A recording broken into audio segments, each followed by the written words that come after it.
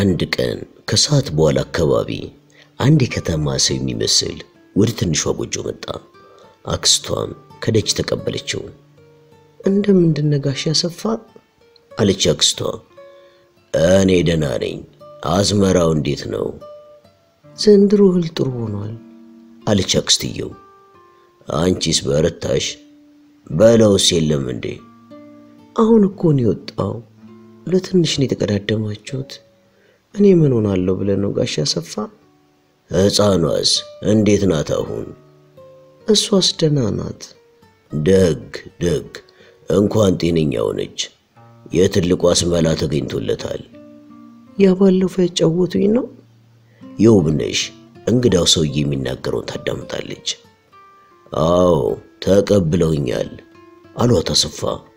ሐረጓ እግራቸው ስር ልትወድቅ ስትል ፈጥነው ብድግ አደረጓት። ምን ማለትሽ ነው እንዴ? ተይ እንጂ አረጓ፣ ለእኔም እኮ ቢሆን ልጄ ናት። እኔማ ምላው ጠፍቶኝ የከረምኩት። ይሄው ባለፈው ዓመት ትምህርቷን አቋረጠች። የእናቷ አደራ ደግሞ ትውስ እያለኝ እንቅልፍ ነሳኝ። በሉ እስቲ ቡና ላፍላ አሁን አለች አረጓ። አይ አረጓ ተይ ተይ ይቅርብኝ።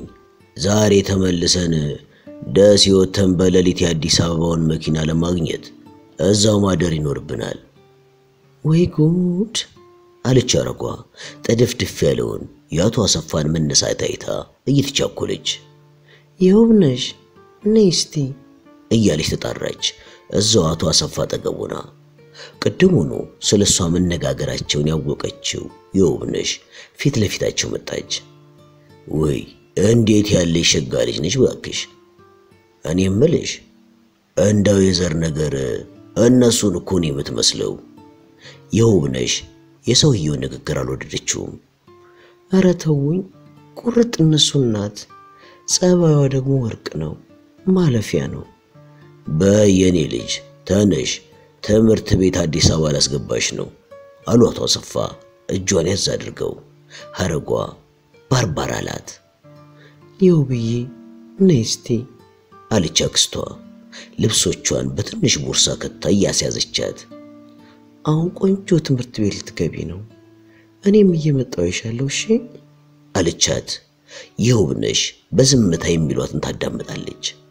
እሷ የትም ይውሰዷት ያቺ የምትወዳት እናቷ እንደሆነ ዳግም የምታይበት ሀገር እንደሌለ አውቀዋለች። እንግዳው ሰውዬ ብድግ አሉ። እንግዲህ ሰሞኑን ለበለው ደውዬ ነግረዋለሁ ነይ የኔ ልጅ ብለው የውብነሽን እጅ ያዝ አደረጓት። የውብነሽ ከዛ ሀገር መሄዷ ለእሷ የተሻለ ቢመስላትም የሚወስዷት ቦታ ምን እንደሚገጥማ ስላላወቀች ፈዝዛለች። ብቻ ምንም ቃል ሳትናገር በአክስቷ እቅፍ ውስጥ ያለችውን ትንሽ እህቷን አይን አይኗን ማየት ጀመረች። አቶ አሰፋ ትንሽ ቦርሳ ያነገተችውን የውብነሽን እጅ ይዘው ሐረጓን ተሰናበቱና ከጎጆ ወጥተው መንገዳቸውን አቀኑ። ከሁለት ቀናት ጉዞ በኋላ አዲስ አበባ ገቡ። ብዙ ጫጫታና ሁካታ በበዛበት ቤታቸው የውብነሽን ወሰዷት። አቶ አሰፋ የታወቁ ነጋዴ ናቸው። ከከተማው ውስጥ የመጠጥ መሸጫ ግሮሰሪ ያላቸው። ከብቶች እያደለቡ ወደ ውጭ ይልካሉ። በገጠርም ሰፊ እርሻ መሬት አላቸው። ለዓይን ከሚታክቱ የቤቱ ሰዎች ከሚተረማመሱበት መሃል አልፈው ባለቤታቸው የተኙበት ክፍል የውብነሽን ወሰዷት። ባለቤታቸው ወፍራም ሰውነታቸውን አልጋው ላይ ከምረው የውብነሽን በዓይናቸው ገርመም እያደረጉ የምትበላውን ስጧት እስቲ አሉ። የውብነሽ ትልቁ ሳሎን ጥግ ካለው አነስ ያለ ሶፋ ወንበር ላይ ተቀመጠች። ራቷንም እዛው ሰጧት። ምንም እንኳን የሰጧት ምግብ አልበላ ቢላትም ትንሽ ቀመሰችለት። እዛው ሶፋ ላይ የሚለበስ ሰጥተዋት ተኛች። በነጋቷ ጠዋት አንዲት ሴት ዳቦና ሻይ በሲኒ ያመጣችላት። የውብነሽ ፊቷን ታጥባ ቁርሷን በላች። ተነሽ እስቲ ተነሽ የኔ ልጅ አሉ አቶ አሰፋ ድንገት ወዳለችበት ገባ ብለው እጇን ይዘው ከግቢ ወጡ። አቶ አሰፋ መኪና ስላልነበራቸው ወደ ቦታው ለመሄድ ታክሲ ያዙ። መኪና ለመግዛት አቅም አንሷቸው ሳይሆን ስለማይወዱ ነው። እግሬ ምን አለኝ የሚሉት ፈሊጥ አላቸው። ከቸኮልኩ ደግሞ ገንዘቤ ይጨነቅ በሚለው ንግግራቸው ባለቤታቸውን ዘወትር ሲያበሽቋቸውን የኖሩት የውብነሽ እናቱ አሰፋ ወደ ግቢው በር ደረሱ። የሄዱበት ቦታ እናትና አባት የሌላቸው የሚረዱበት የውጭ ድርጅት ሲሆን የራሱ የሆነ ትምህርት ቤትና የጤና ክሊኒክም አለው። ድርጅቱን በኃላፊነት የሚቆጣጠሩት የውጭ ዜጎች ሲሆኑ ካቶሊኮች ናቸው። በውስጡ የተለያዩ የኃላፊነት ቦታ የሚቀጥሯቸው ሀበሾችም ብዙ አሉበት። የውብነሽን እጅ እንደያዙ አቶ አሰፋ ለጥበቃው ነግረው ወደ ግቢው ዘለቁ። ግቢው ጸጥ ያለና ግራና ቀኙ በአትክልቶች ያማረ ሲሆን መሃል ለመሃል የልጆች መጫወቻና ሰፊ ሜዳ ያለበት ነው። ትንሽ ራመድ ራመድ ብለው ወደ ስራ አስኪያጁ ቢሮ ገቡ። የውብነሽ አቶ አሰፋና ሰውየው የሚነጋገሩትን አላወቀችም። ብቻ ስሟን፣ የትውልድ ቦታዋን፣ ዕድሜዋን ሲጠይቁ አቶ አሰፋ ይመልሳሉ። በኋላም ስራ አስኪያጁ መዝገቡ ላይ መዘገብና የሆነ ነገር አንቃጨለ። አንድ በዕድሜ ጠና ያለች ሴትዮ ወደ ክፍሉ ገባች። ይህችን ልጅ እስቲ ክፍሉን አሳያት፣ ለኃላፊዋን ማስረክቢያት አለ ሰውየው። ሴትየዋ ፈጠን ብላ የውብነሽን እጅ ያዘች። ይህኔ አቶ አሰፋ ከመቀመጫቸው ተነስተው ወደ የውብነሽ ጎንበስ አሉና አይዞሽ የኔ ልጅ እዚህ ሁሉም ነገር ሞልቷል። ትምህርትሽንም ትማሪያለሽ፣ እኛም ደግሞ እየመጣን እናይሻለን እያሉ ሳሟት። ከሴትየዋ ጋር ከቢሮ ስትወጣ አቶ አሰፋም በመጡበት ኮሪደር በኩል ውልብ ብለው ከዓይን ጠፉባት። የውብነሽ በዚህ ጊዜ ምንም የእሷ የሆነ ረዳት የሌላትና ሁሉን ያጣች ከሁሉም ነገር የተገለለች ስለመሰላት እምባ እንቅ እንቅ አደረጋት። የውብነሽን ሁኔታ የተረዳችው ሴትዮ አይዞሽ አለቻት። በቀጭኑ የኮሪደሩ መንገድ ወደ ውስጥ ወሰደቻት። በመደዳው የተደረደሩ ክፍሎች አልፋ ወደ መጨረሻው አካባቢ የሆነ ክፍል ስትደርስ ወደ ውስጥ ይዛት ገባች። በክፍሉ ውስጥ ከላይና ከታች የልጆች መተኛ አልጋዎች ተደርድረዋል። አንድ ትንሽ ልጅ ከታችኛው አልጋ ጠርዝ ላይ ተቀምጣ የሆነ የሚገጣጠም ስዕል የመሰለ ነገር ትደረድራለች። ቲና ቲና አለቻ ሴትዮዋ። ቀና አለችና ልጅቷ ወዲያውኑ ጎንበስ ብላ ወደምትጫወትበት የስዕል መገጣጠሚያዎች ተመለሰች። ለሷ በየጊዜው የአዳዲስ ሰዎች መምጣት አዲስ አይደለም። ሴትዮዋ ለውብነሽ የምተኛበትን አልጋ አሳይታት እየተጣደፈች ወጣች። የውብነሽ ከማትናገረዋ ልጅ ጋር እዛው ክፍል ቀረች። አንቺም እንደኔ እናትና አባት የለሽም እንዴ? አለች ቲና እንዳቀረቀረች። ቲና መልስ ስታጣ ቀና ብላ አየቻት። እስካሁን ከምታውቃቸው ልጆች ተለየችባት። የተለየ የቆዳ ቀለምና ቡኒ ፀጉር። የውብነሽ በግንባሯ መለሰችላት። የሰራሁትን ቤት ላሳየሽ አለቻት ቲና የምትደረድረውን የስዕል መጫወቻ እያሳየቻት። የውብነሽ ጠጋ ብላ አጠገቧ ቁጭ አለች። ልጅቷንም አልጠላቻትም። አየሽ እኔ እኮ እናትና አባት የለኝም አለች ቲና። እዚህ ሰውኝ የመጡት በሕፃንነቴ ነው። ያደግኩትም እዚሁ ነው። ምንም እኮ ዘመድ የለኝም። የልጅቷ አነጋገር በቋፍ ያለችውን የውብነሽን አስለቀሳት። እናቷንም አስታወሰቻት። እንዴ ታለቅሻለሽ እንዴ? የትምህርት ቤቱን ሕግ አላወቅሽውም ማለት ነው። ስታለቅሺ ከመጡብሽ ይቀጡሻል። እሺ እሺ አለች ውብነሽ። አራት ሌሎች ልጆች እየሮጡና እየተጫወቱ ገቡ። ክፍላቸው ነበር። ሁሉም የውብነሽ ላይ ያፈጠጡባት። እርስ በራሳቸው ተያዩ። አንዷ አፏን ይዛ ሳቀች። ምን ያስቅሻል? ቲና ተቆጣች። አይ ልጅቷን እያዩ ነው አለች ድንቂቱ። በጣም ቀይ ስለሆነች እኮ ነው አለች ሌላዋ። በቃችሁ፣ እኔ ዝም ካላላችሁ አስቀጣችኋለሁ። እሺ አለች ቲና በቁጣ። እሺ እንተዋወቅ አለች ከመካከላቸው አንደኛዋ። ሰላም እባላለሁ። ሌሎቹም አንድ በአንድ ስማቸውን ተናገሩ። እራታቸውን ሲበሉ ብዙም የእንግድነት ስሜት አልተሰማትም የውብነሽ። በማግስቱ በግቢው ውስጥ ከአንደኛ ጎን በኩል ከተደረደሩት የመማሪያ ክፍል አንዲት ሴት የውብነሽን ይዛት ሄደች።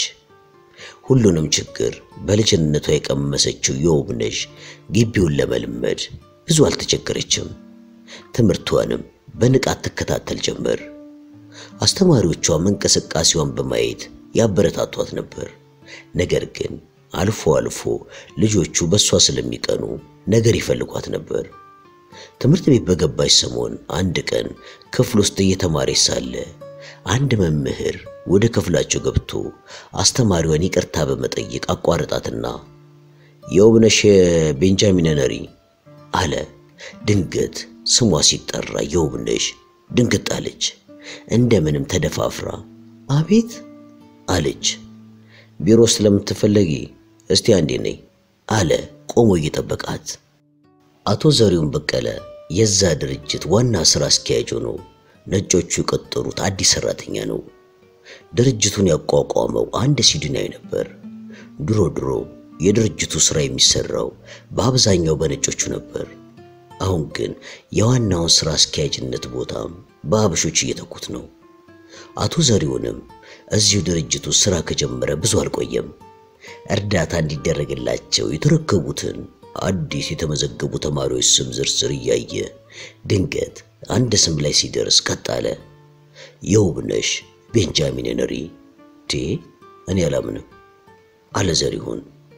የስም ተመሳሳይነት ይሆን ወይስ ልጁ ናት? ቴ ቤንጃሚን ነሪ የሚባል ፈረንሳዊ ዜግነት ያለው ከዚህ በፊት የሚያውቀው የሥራ ባልደረባውና ወዳጁም የነበረ ሰው ያውቃል። ግራ እንደ መጋባት ብሎ እንዴ እንዴት ሊሆን ይችላል? ሰውየው ደግሞ ሀገሩ ከገባ ዓመታት አልፈዋል። ደግሞ እንዴት ልጁ ትሆናለች? ነው ወይስ የረዳት የነበረች ልጅ ትሆን? ይህንንና ይህን እያሰላሰለ ነበር ልጅቷን ለማየትና ለማጣራት ጓጉቶ ቢሮ ያስመጣት። ሰውየው የውብነሽን ይዞ ወደ ሥራ መሪው ገባ። የውብነሽ ትንሽ ልቧ ድው ድው አለባት። ጥፋት ያጠፋች ስለመሰላት በጣም ፈርታ ትንቀጠቀጥ ነበር። ዘሪሁን በቀለ አይኑን ከልጆት ላይ ያሳርፎ በተመስጦ ነበር የሚያያት። ወይ ጉድ! የሚገርም ነው። ልጅቷ እኮ ቁርጥ አባቷን ነው የምትመስለው። እንዴት የሚያስደንቅ ነገር ነው ባካችሁ! የት የሆነ ያ ሽማግሌ ያለው እያለ በሐሳቡ ሲያወጣ ሲያወርድና ልጅቷ ናት የሚለው ያመጣት መምህር ድምፅ ከሐሳቡ አባን ነው። ጥሩ ነው አለ ዘሪሁን ከሄደበት የሐሳብ ሰረገላ ላይ ወርዶ ፊቱን ወደ ልጅቷ እያዞረ። ነይ እስቲ ውብነሽ ፈራሽ እንዴ? አለ በመጨረሻ ወደ ልጅቷም ጠጋ ብሎ አባትሽ የውጭ ዜጋ ነው እንዴ? አላት። የውብነሽ ትከሻዋ ነቀነቀች እሷ ስለማታውቀው ነገር ነው የሚጠይቋት ሊሆን ይችላል አለ መምህሩ ዋናው ጉዳይ ግን ይቺ ልጅ ምንም አይነት ረዳት የሌላት ምስኪን ነች መልካም አለ ዘሪሁን በመስማማት መልክ መምህሩ መልሶ ወደ ክፍሏ ወሰዳት። የውብነሽ ስለዛ ስለማትወደው ወይንም ስለማታውቀው የውጭ ዜጋ ስለሚሉት ነገር ዳግም ስትሰማ አስጠላት። የምትወዳት የእንግሊዘኛ መምህር ክፍል ስትገባ ግን ሐሳቧ ረሳችው። ዘሪሁን አዎ እጅግ እየተገረመና መኪናውን አስነስቶ ለምሳ ወደ ቤቱ ሄደ። ማታ ሲሆን ኮምፒውተሩን ከፍቶ የዛን ሽማግሌ አድራሻ መፈለግ ያዘ። ከብዙ ፍለጋ በኋላም አድራሻውን አገኘው። ቤንጃሚን ሄነሪ በዚህ ጊዜ በሕይወት ይኑር አይኑር የሚያውቀው ነገር አልነበረም። ያኔ በሥራ ተገናኝተው ሲያውቀው በጣም ተግባቢና ተጫዋች ሰው እንደነበረ፣ መጠጥ አዘውትሮ እንደሚጠጣም አሳምሮ ያውቅ ነበር። ሄነሪ ምንም እንኳን መጠጥ ቢወድም ብዙ ጊዜ ራሱን ቆጥቦ ወደ ሴት እንደማይሄድ ዘሪሁን ያውቃል። የስልክ መነጋገሪያውን አነሳ። ቁጥሮቹን ነካካቸው። ቤንጃሚን ሄነሪ ቁጭ ብሎ ከሚጠጣበት ቦታ ስልኳን ቃጨለ። አሎ፣ እንደምን ነህ ሄነሪ? የሩቅ ድምፅ ነው። በመጠጥ ሰውነቱ ቢደነዝዝም ስልኩን መመለስ አላቃተው። ሰላም ነኝ። ለመሆኑ በዚህ ሰዓት ምን እያደረግክ ነው? እየጠጣው ነዋ። ለመሆኑ አንተ ማነህ ግን? ሄነሪ በእንግሊዝኛ መለሰ። እስቲ ገምት። ከአፍሪካ ከኢትዮጵያ ገመት እስቲ። ሄነሪ ድምፁን አስታወሰው። ኦ ሲድ አለህ እንዴ? ሄነሪ ዘሪሁንን ሲድ ነበር የሚለው። እኔማ ምን ሆናለሁ አለሁኝ። አንተ ግን እንደምን ሽማግሌው? አንተስ አላረጀህም እንዴ? ተቀላለዱ። ይልቅ የምስራች ልንገርህ። ምንድን ነው እሱ? አዲስ ፕሮጀክት ሊከፈት ነው እንዳትለኝ። አሁን አቅም የለኝም፣ ደግሞም ያለኝ ይበቃኛል። አርጅቻለሁ። ኧረ እባክህ ሌላ ዜና ነው። ልብህን ግን ያዘው። ድንቅ ወሬ ልነግርህ ነው። ምን ነው በስተርጅና የልቤን አታንጠልጥለው እንጂ ንገረኛ። ውብ የሆነች ኮረዳህን አይቻታለሁ። ምንድን ነው የምትለኝ? ሽማግሌው ግራ ገባው። ልጅህን? የማንን? ያንተን ነዋ። በአንተ ስም የምትጠራ ደማቅ ቀለም ያላት አንተን የምትመስል ልጅ ተመልክቼ ጉድ ብዬልሃለሁ። ቴ የምን ተአምር ነው? ምንድን ነው የምትለኝ ሲድ? እንዴት ሊሆን ይችላል? እመነኝ ነሪ፣ እውነቴን ነው ማለለት። አንተ ልቤን በደስታ ልታፈነዳት ነው እንዴ? ጭንቅላቱን ተጠራጠረው። በሕልሜ ያለው እኮ ነው መሰለኝ። እንግዲህ አስታውስ፣ ወደ ኋላ መለስ ብላ አስታውስ እስቲ። ቆይ እስቲ ብሎ ለደቂቃዎች ማሰብ ጀመረ። ሽማግሌው ከረጅም ዘመናት በፊት ስለሆነው ነገር በሐሳብ ፈረስ ወደ ኋላ ቀለበ። አዎ አስታወሰ። ያቺ ቆንጅዬ የጽዳት ሰራተኛ የዛን ቀኑ ሁኔታ ከፊቱ ተደቀነበት። የልጅቷ እንባ በዛን ጊዜ ከፍላጎቷ ውጪ ለዛውም ደረጃውን ከማትመጥንና ዝርያው ካልሆነች ሴት ይሄ ይሆናል ብሎ መቻሰበና ለሱ በዛሽ ደቂቃ ያበቃ ነገር ነበር። እንኳን ሊያስበው ከቁብም የቆጠረው ጉዳይ አልነበረም። ነገር ግን የአንድ ቀን መዘዙንና ዘመን አስቆጥሮ ይሄው ለሱም እንኳን የተስፋው መጠገኛ ሆነ እንጂ። ሲድ አሁን አስታወስኩኝ አለ ሽማግሌው እየተገረመ። ዘሪሁንም ዝርዝር ሁኔታውን ነገረው። ሲድ እውነቴን ነው የምልህ፣ ስሜቴን የነካ ግሩም ዜናን የነገርከኝ። የጓለማታውን ስም ልትነግረኝ ትችላለህ? በትክክል ነግርሃለሁ እንጂ። አድራሻውን ነገረው። ሽማግሌው አድራሻውን በጥንቃቄ ከመዘገበ በኋላ ሲድ አመሰግናለሁ፣ እደውልልሃለሁ አለው። በመጨረሻ ተሰነባብተው ስልኩ ተዘጋ። ሄነሪ ፈረንሳይ እንደተመለሰ ኑሮ ጥሩ አልሆነለትም። ድሮም ቢሆን ጸባዩዋን የሚጠላላት ሚስቱ ልጆቿን ይዛ ወደ እናት ሀገሯ ጣሊያን ጥላው ከሄደች ዓመታት ተቆጥረዋል። ዳግም ወደ እርሱ እንደማትመለስ እሱም ያውቃል። ጣሊያናይቷ አሊያና ከሀብታም ቤተሰብ የተወለደች በመሆኗ የእሱን ንብረት ከቁብም አትቆጥረውም። ሁለቱም ልጆቹም ቢሆኑ የረቡ አይደሉም። እንደ እሷ የመጠጥና የሐሺሽ ሱሰኛ ነበሩ። እሱም ቢሆን ቱጃር አባቱ ያወረሱት ገንዘብና ሀብት ቢኖረውም እሱ ሲሞት ለማንም ገንዘቡ መና መቅረቱ የበለጠ ያናድደውና ያበሳጨው ነበር። ስለዚህ ጠዋት ማታ ይጠጣል፣ ያጨሳል። ሄነሪ ሴት ልጅ ከጣሊያናይቱ ሚስቱ ለማግኘት በጣም ይጓጓ ነበር። ነገር ግን አልሆነለትም። በዛ ላይ ጸባዩዋ እንደ ሳት ሲያቃጥለው ስለነበረ ባገኘው አጋጣሚ በስራ ሰበብ በየአገሩ ሲዞር ነበር እድሜውን የፈጀው። ካለ ስራ መቀመጥ አይወድም። ያለ ስራ ሰው የተቀመጠ እስረኛ ነው ነበር የሚለው። አሁን ግን ጉልበቱ እየደከመ አቅሙ እያለቀ ሲሄድ የራሱ ንብረት ከበቂ በላይ በመሆኑ የቀረውን እድሜው በመዝናናት ሊያሳልፍ ነበር ሀገሩ የገባው። ምን ያደርጋል ከዕለት ወደ ዕለት እየባሰበት የሄደው የጉበት በሽታ ከፊት ለፊቱ ተደቀነበት እንጂ። ዘሪሁን ስልኩን እንደጨረሰ ስለ ጉዳዩ በጥልቀት አሰበ።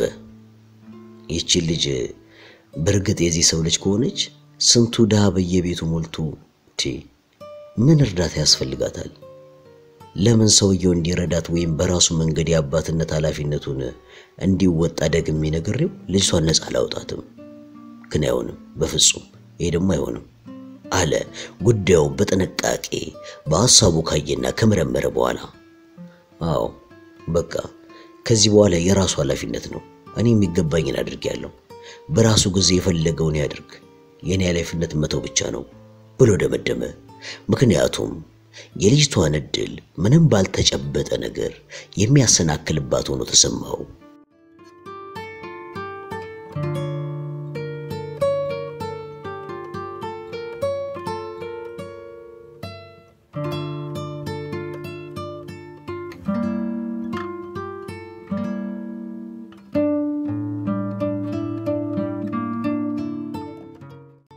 የውብነሽ ነሪ በጓለማታው ቆይታዋ በጥሩ ሁኔታ ትምህርቷን ስትከታተል ነበር።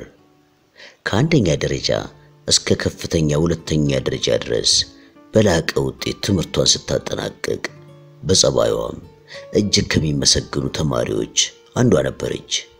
በእርግጥ በዚህ ጊዜ ውስጥ አብረዋት ከሚማሩ ተማሪዎች የሚደርስባትን ፈተናዎች ተቋቁማ አሸንፋለች። በመጨረሻ ከሁሉም ጓደኞቿ አክብሮትና ፍቅርን አግኝታለች።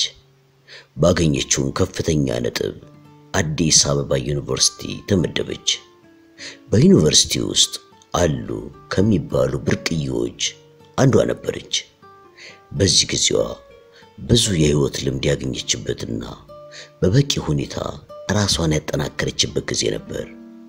በመጨረሻ ከአዲስ አበባ ዩኒቨርሲቲ የወርቅ ሜዳሊያ ተሸላሚ ሆና ትምህርቷን አጠናቃለች።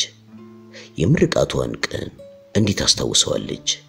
እንደዚያ በጥቁር ጋውኗና አንገቷ ላይ ባጠለቀችው የወርቅ ሜዳሊያ ሆና የምትወዳት እናቷ ከመቃብር በላይ ሆና የምታያት ነበር የመሰላት። እናቷንም አስታውሳ ያለቀሰችውን ባይረሳትም ትዝ አላት። ያን ቀን ደስታዋን ለመካፈል የመጡት ዘመዶቿ ሁኔታ ታሰባት። ያለት የተመራቂዎች ቤተሰቦች ተመራቂዎቹን አቅፈው በግቢ ውስጥ ፎቶግራፍ ሲነሱ፣ እሷ ግን ማንም ይመጣልኛል ብላ አላሰበችም ነበር።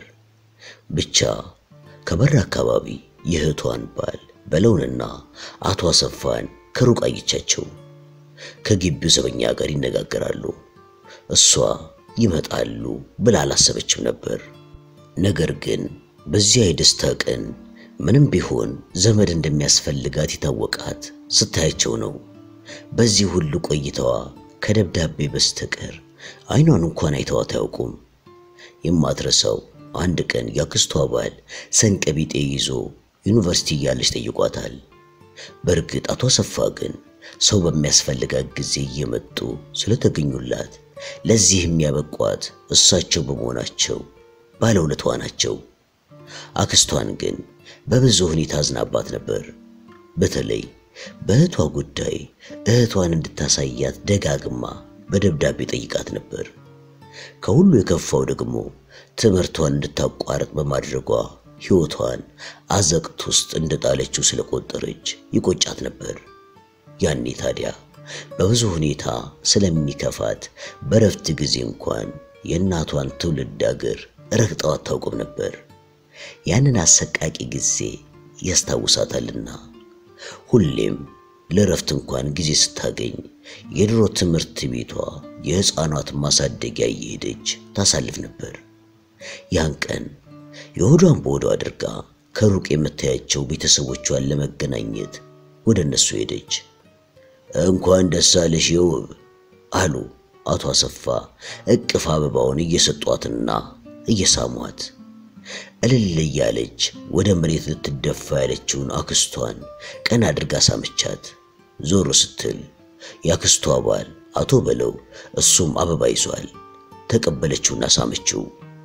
አይናፋር እህቷ ግን ቆም ብላ በሰሰት ከማየት በስተቀር ምንም አላለችም። ሳሚያት እንጂ በትክዬ አለች አረጓ። ስትናፍቃት የነበረችው እህቷን እንደዚህ አድጋ ስታያት የውብነሽ ውስጧን አንዳች ስሜት ወረረው። እናም እቅፍ አድርጋ ሳመቻት። መልኳም እናቷን መሰላት።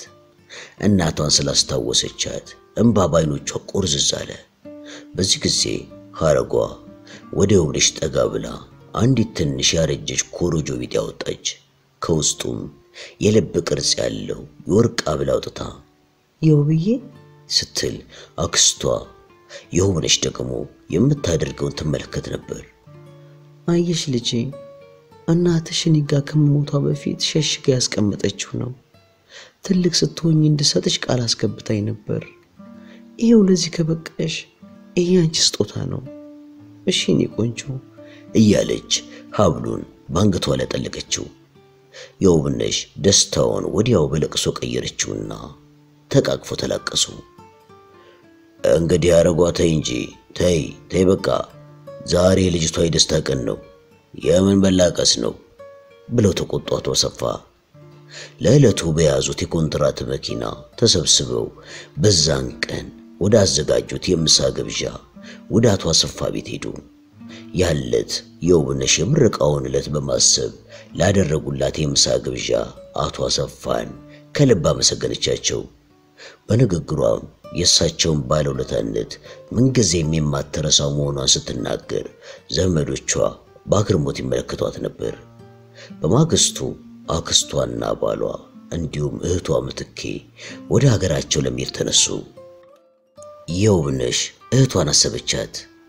ዛሬ እሷን ከራሷ ጋር ልታስቀር የምትችልበት የተመቻቸ ነገር ስለሌለ አክስቷ ይዛ ስትመለስ በውስጧ ስለ እህቷ ብዙ እያሰበች ነበር። ግድ የለም አለች በቁጭት ሰው ሆና እህቷን የምትወስድበት ጊዜ ሩቅ እንደማይሆን በሐሳቧ ተስፋ እያደረገች እንዳሰበችውም የውብነሽ ራሷን የምትችልበት ጊዜ በአጭር ጊዜ ውስጥ ተፈጸመ። ባገኘችው ከፍተኛ ውጤት ከዩኒቨርሲቲው እዛው በማስተማር ሥራ ልትቀጠር እንደምትችል ጥሪ ደረሳት።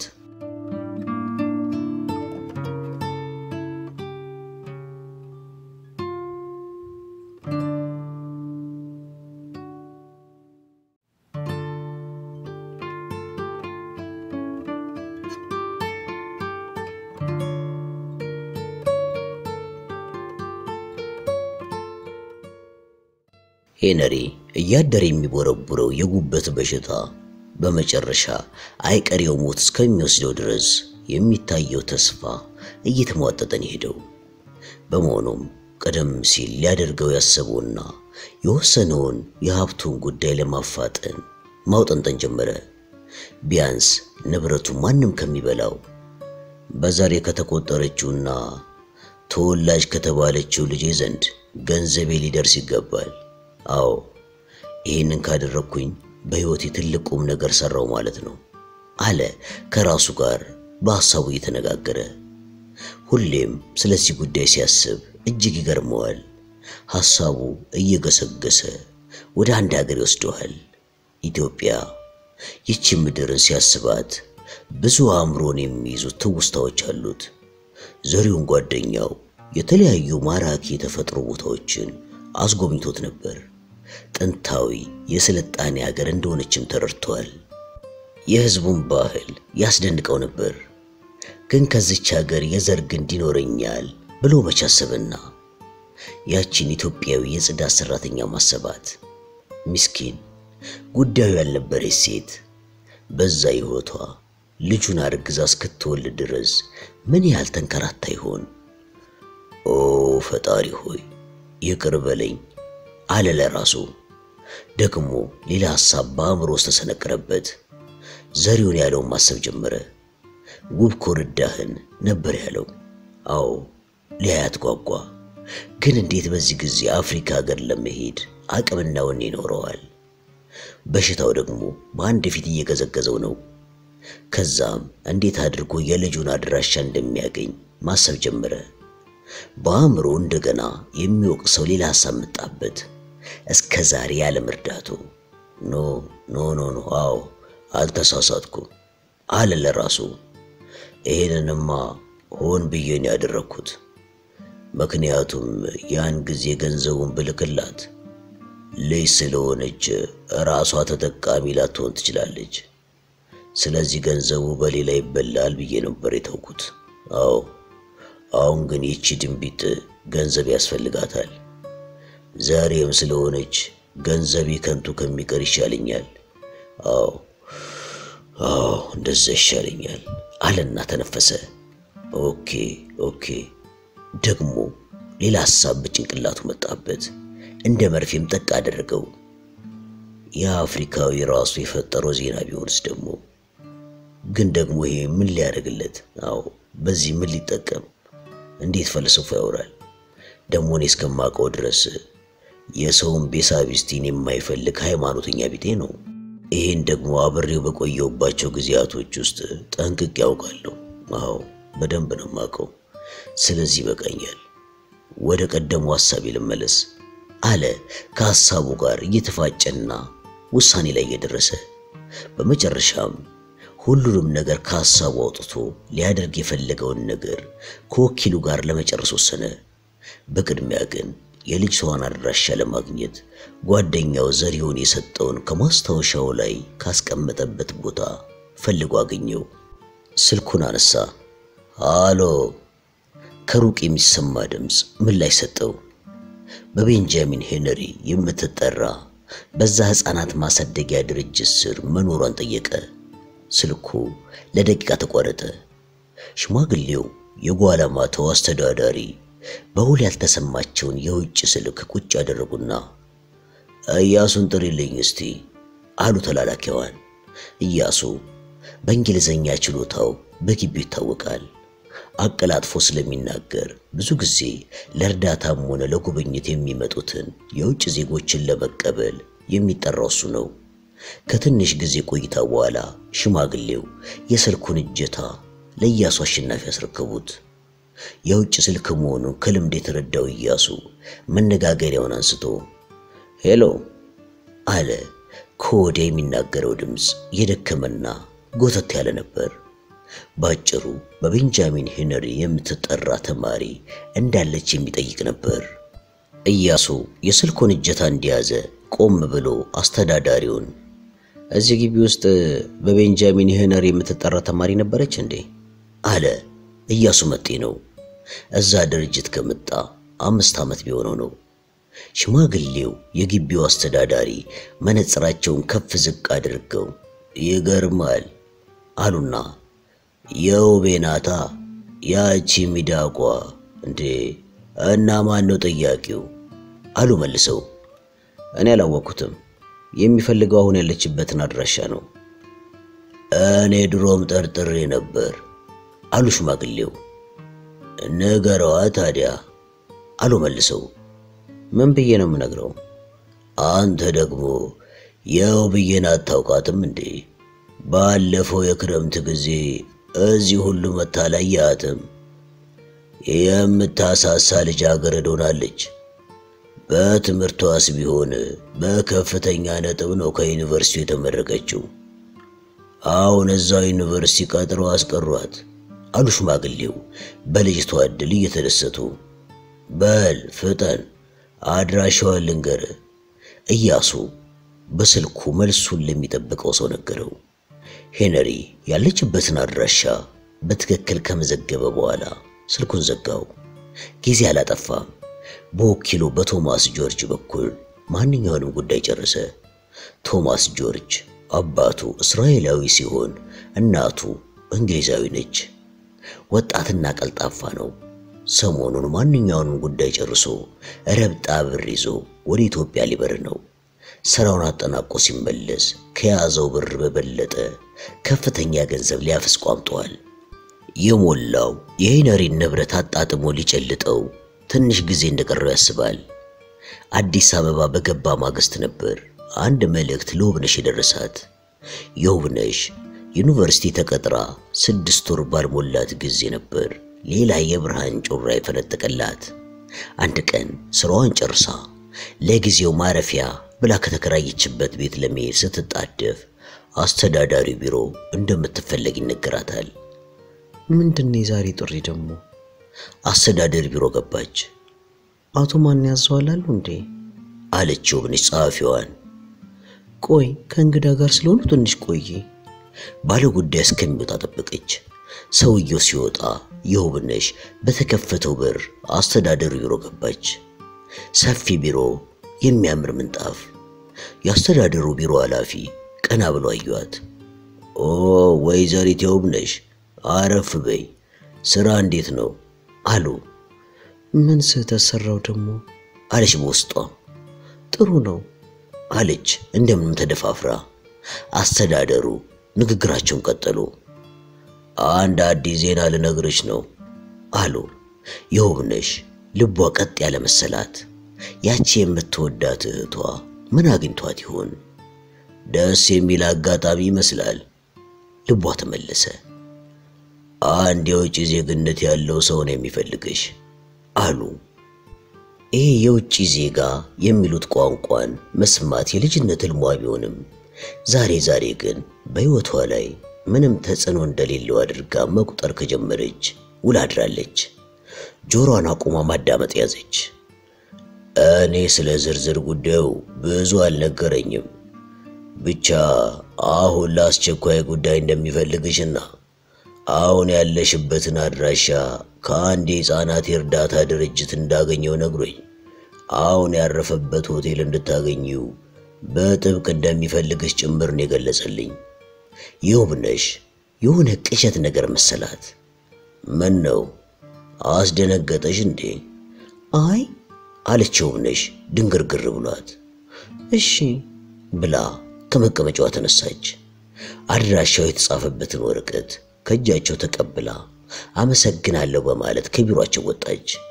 የውብነሽ ይህ አዲስ ዜና ዱብዳ ቢሆንባትም በተፈጥሮዋ የተረጋጋችና ማንኛውንም ከበድ ያለ ጉዳይ ሲገጥማት በጥሞና የማየት ነገርን ፈርጅ በፈርጁ የማየት ልምዷ ከልጅነቷ ያዳበረችው በመሆኑ ብዙም አልተሸበረችም።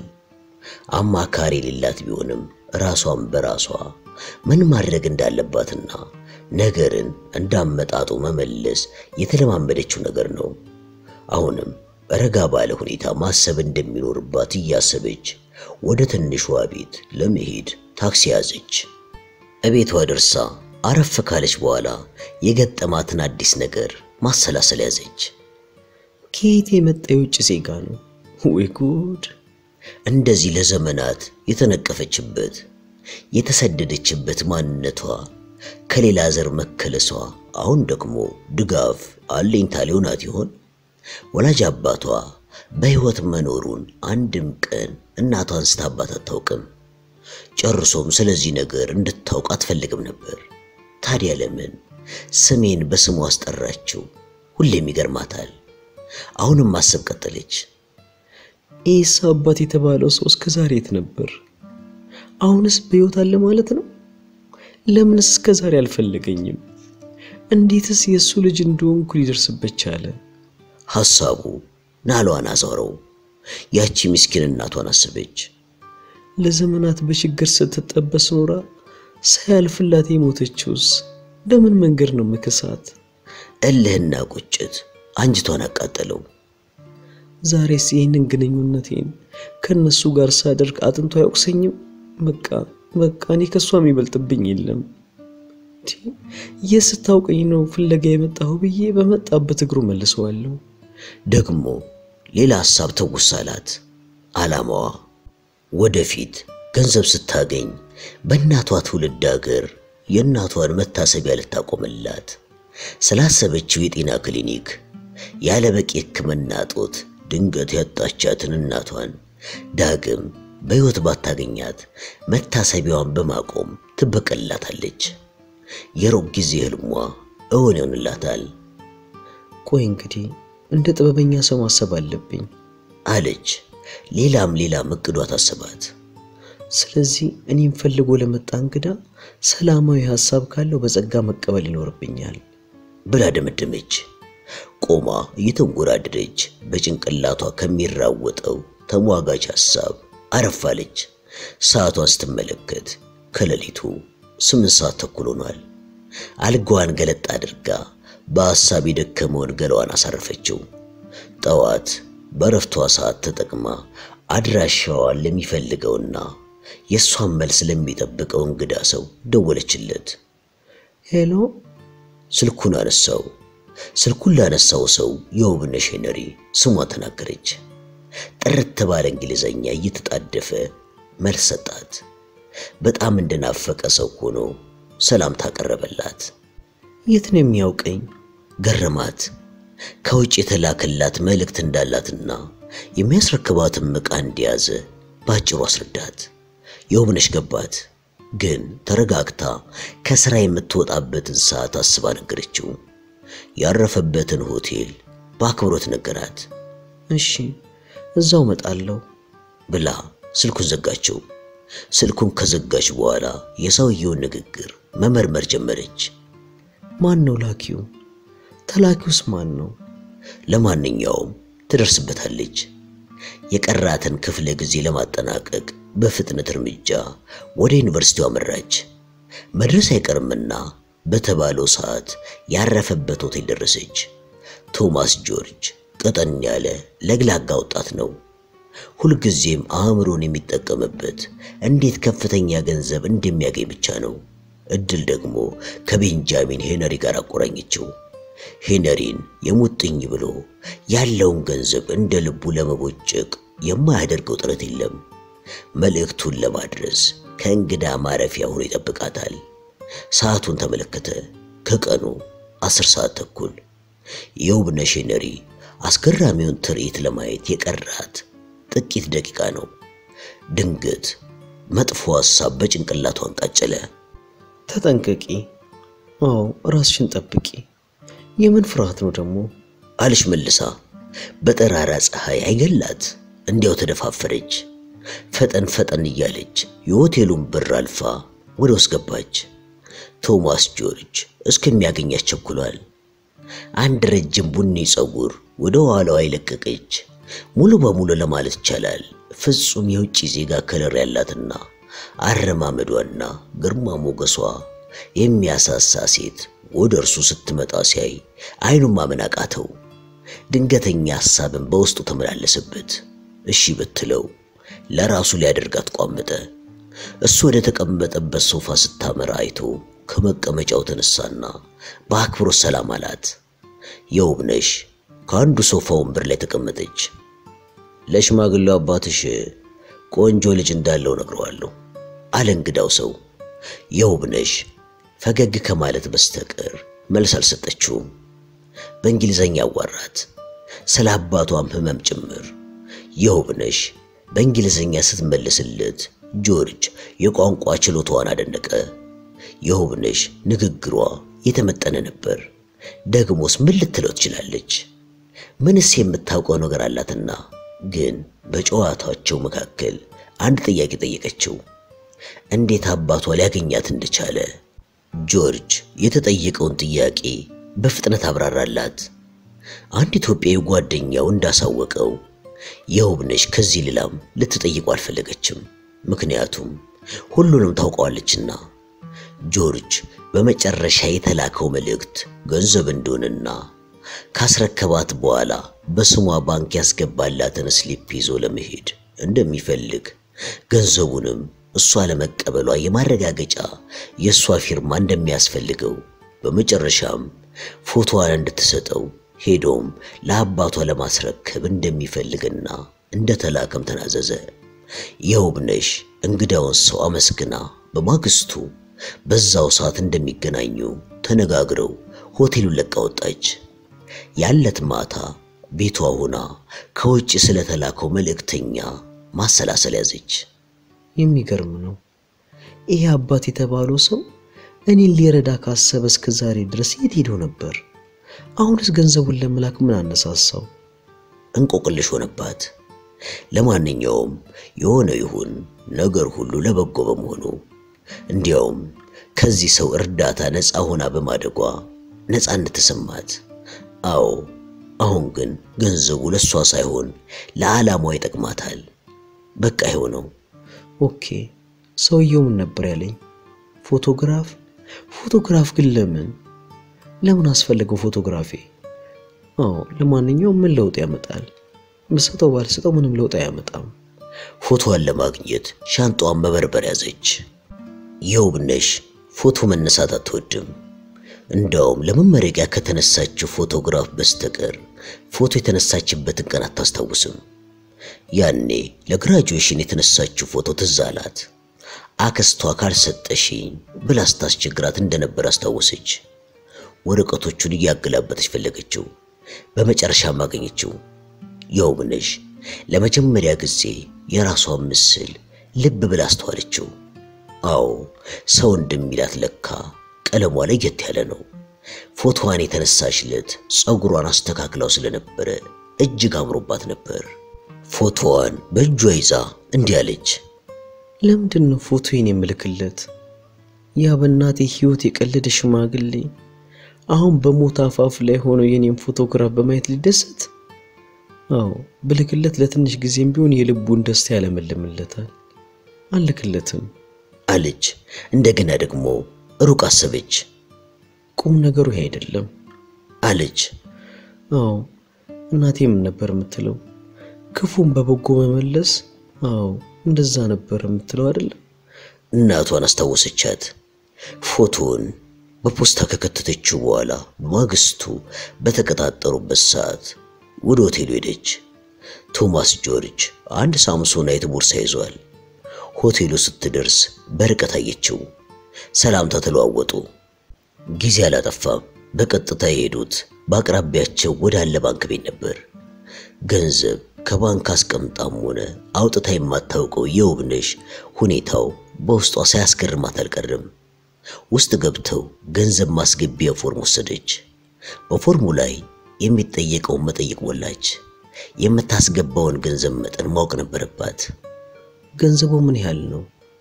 በፍጥነት ወደ ባንኩ ሂሳብ ሰራተኛ ሄዶ ምንዛሬውን ጠይቆ ተመለሰ ቶማስ ጆርጅ። ከዛም ወደ ጆሮዋ አጠጋ ብሎ አርባ ሚሊዮን የኢትዮጵያ ብር ነው አላት። የውብነሽ አልገመተችም፣ ግን ሆኗል። ጆርጅ በደንብ ያልሰማችው ስለመሰለው ደገመላት ቁጥሩን አስተካክላ ጻፈች። ጆርጅ ገንዘቡን አስረከበ። በጥቁሩ ቦርሳ ውስጥ የታጨቀው ዶላር ነበር። በስሟ አርባ ሚሊዮን የኢትዮጵያ ብር ባንክ ገባ። በምትኩ ፎቶዋን የያዘ ፖስታና ቀሪውን slip አስረከበችው። ከባንክ ቤት ሲወጡ ነገ መንገደኛ በመሆኑ አብራው እንድታመሽ ጋበዛት።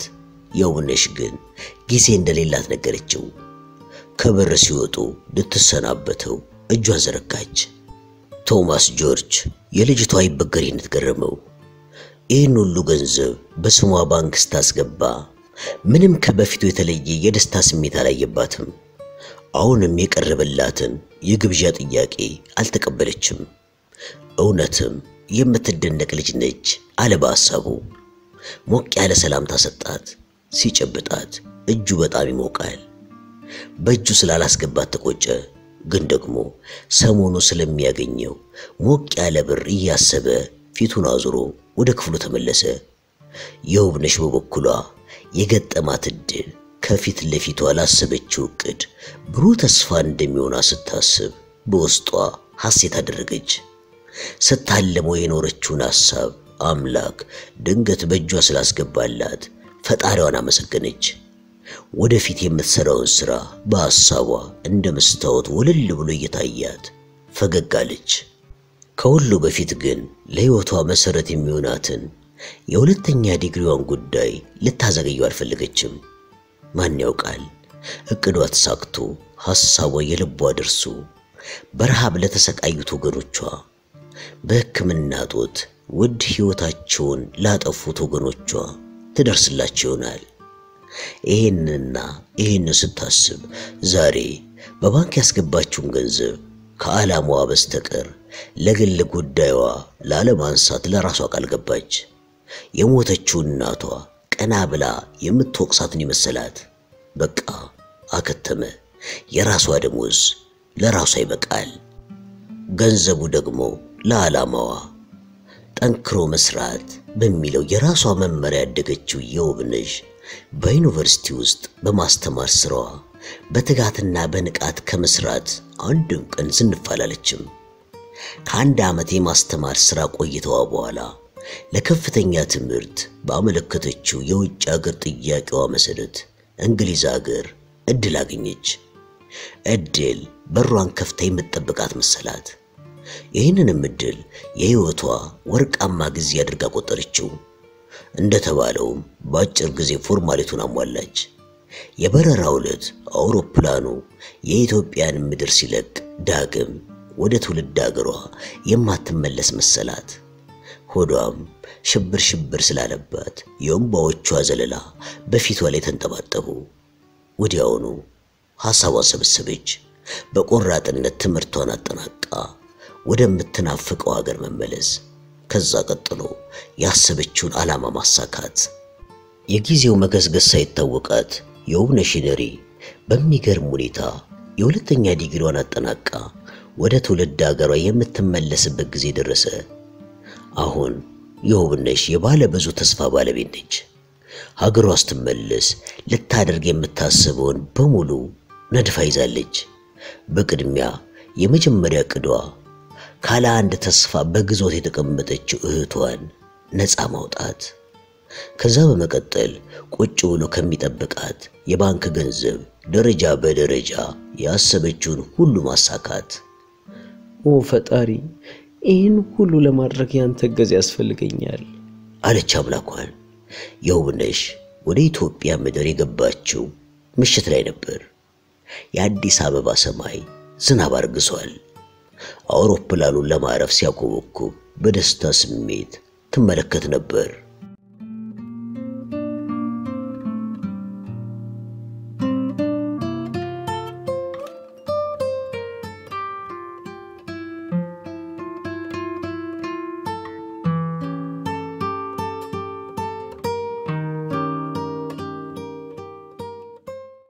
የውብነሽ ካረፈችበት ከአንድ ትልቅ ሆቴል ሆና በቅድሚያ ምን ማድረግ እንደሚገባት ስታሰላስል አመሸች።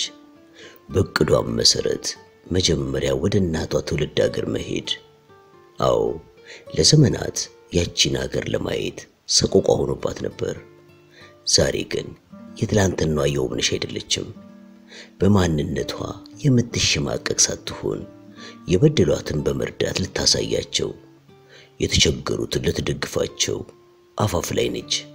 ይህንን ልታደርግ እግዚአብሔር ቀን አምጥቶላታል። ለጉዞ የሚያስፈልጋትን ለማዘጋጀት ብዙ ጊዜ አልወሰደባትም። ዝግጅቷን አጠናቃ ጨረሰች። የደሴን መኪና ለመያዝ ትኬት ቆረጠች። በንጋታው በማለዳ ተነስታ ወደ መኪና ተራው ሄደች። ወደ ደሴ የሚወስደው መኪና ጉዞውን ጀመረ። ደሴን ስታስብ እናቷን ማስታወሱ አልቀረም። ትዝ አላት ያኔ ትንሽ ሆና ከእናቷ ጋር ያደረገችው ጉዞ። የእናቷን ትዝታ ሊቀሰቅስባት የሚታግላትን አሰቧን ታገለችው። እምባዋ ግን ከቁጥጥር ውጭ ሆኖ አልፎ ፈንቅሎ መንጠባጠብ ጀመረ። ወዲያው ከቦርሳዋ መሐረቧን አውጥታ አደረቀችው።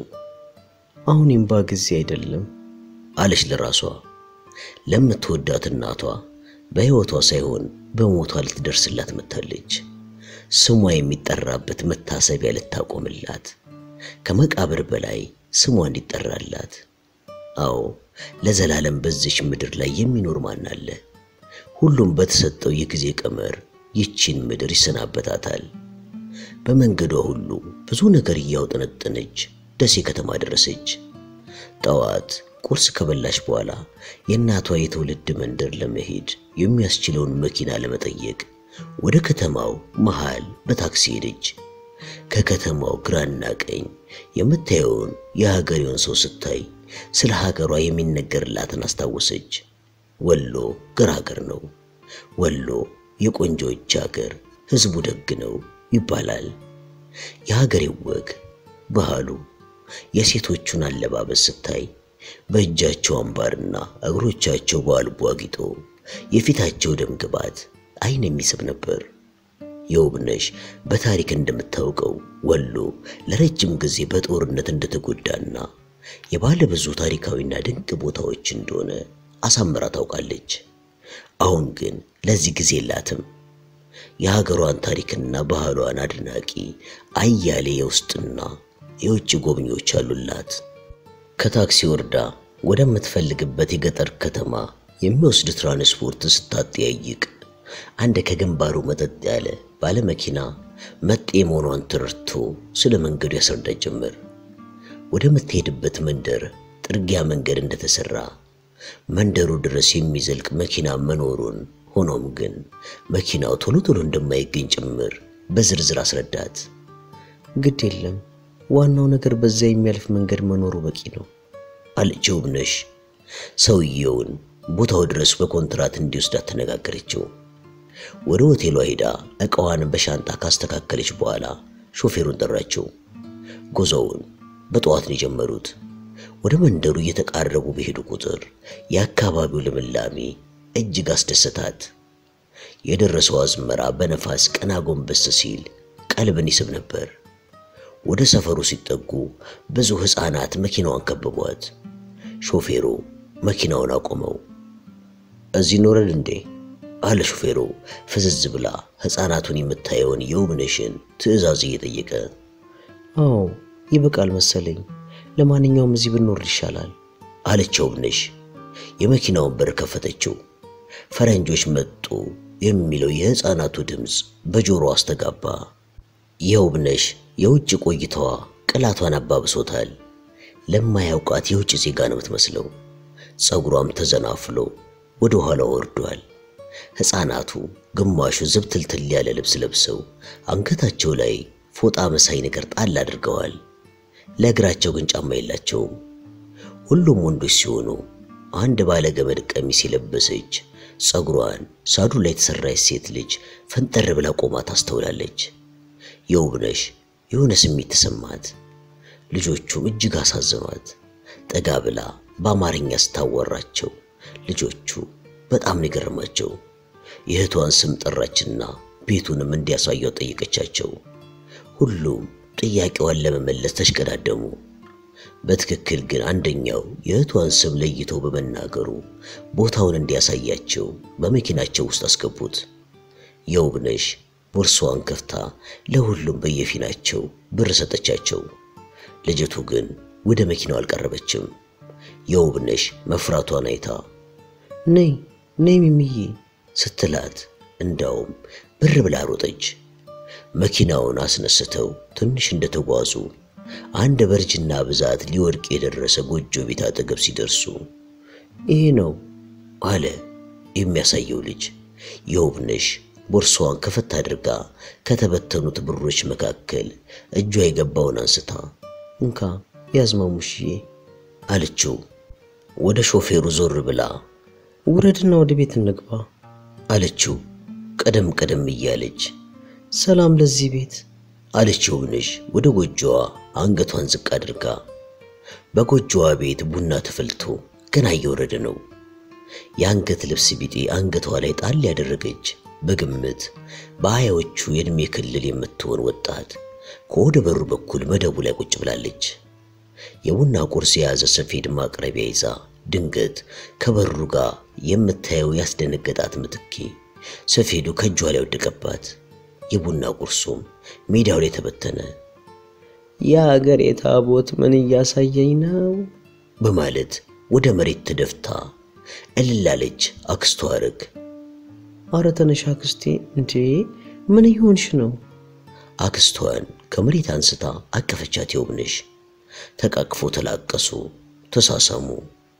የውብዬ ደህና ነሽ? እኔስ ወሬሽ ቢጠፋብኝ እዛው ዘመዶችሽ አገር ገባች ብዬ ተስፋዬን ቆርጬ ነበር። እንዴት እገባለሁ አክስቴ? ቴ ዘመዶች እኮ እናንተ ናችሁ አይቴ ወዲያልኝ እንኳን ፈጣሪ ዳግም አይነሽን አሳየኝ። ይሄኔ የውብነሽ ዞር ስትል በናፍቆትና በስስት እያየቻት ጠጋ ብላ ለመሳም ድፍረት ያጣችውን እህቷን ተመለከተቻት። ምትኬ የእህቷ አንገት ላይ ጥምጥም ብላ እምባዋን ዝርግፍ ዝርግፍ አደረገችው። የናፍቆታቸውን ያልተሳሳሙ። ረግስ እንዴ! ምንድን ነው እንደዚህ መሆን? አለች አክስትየው እንደ መቅናት ብላ። ናፍቆት ያስለቅሳል እንዴ? ምን ታድርግ ብለሽ ነው አክስቴ? እንዴ ጠፍታ የቆየች እህቷን ስታገኝ ነው አለች ውብነሽ። በይ ነይ ይችኛዋንም ተዋውቂያት ነየሽ እየሳሚያት አለች አርጓ። ልጅቷ ድንግርግር ብሏታል።